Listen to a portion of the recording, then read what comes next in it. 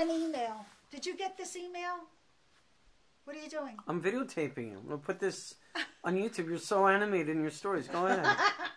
Did you get this on the? You don't get email. Did you get the email about? What's that about? All- All the things that are restricted about America. This is restricted. You can't do this. You can't do that. You can. And then at the bottom of it says, "These are the laws of Mexico." No, I haven't seen that. I haven't seen it. Oh my God! I delete that stuff when you send it to me. Oh really? I thought it was very interesting. It's very uh, biased. It doesn't seem very.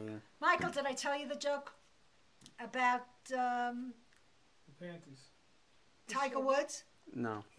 Tiger Woods' father told him to practice, practice, practice golf and fuck everything else. That's a good one. Actually, you did tell me That's a that. good one.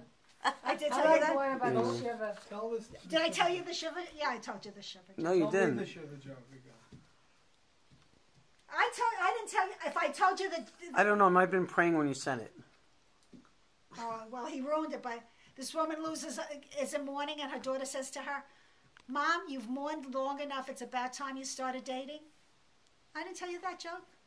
Go on. I don't know. I don't remember. I s It sounds familiar. But Go, ahead. Go ahead. Do it. Do the joke. Oops.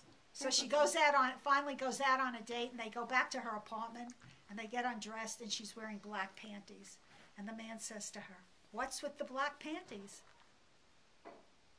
She says, "You can fondle me, you can caress me, but I'm still in mourning down here." the next time they go out, they go back to her place, they get undressed, and she's still wearing the black panties. But he's wearing a black condom. She says to him, What's with the black condom? He says, I thought I'd pay you a shiva call. That's, a That's good Jerry One. Herman. That's very good. Send your email to That- Lee that's a Gerala. very good. I love it. That's a ter- That's a That's one joke. of the best jokes I've heard in a long Where time.